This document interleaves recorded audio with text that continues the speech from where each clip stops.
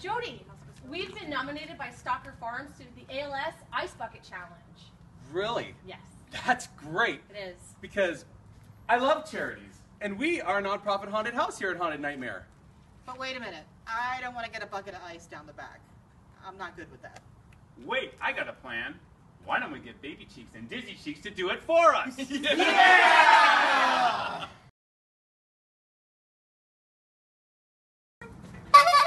Hi, I'm Dizzy, and this is my brother Baby, and we're here at Haunted Nightmare at the Nile Golf Course to do the ALS Ice Bucket Challenge. We're going to donate $100 to our local ALS chapter.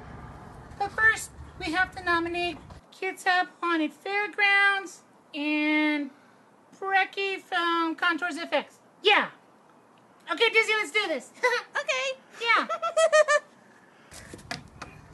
Ah.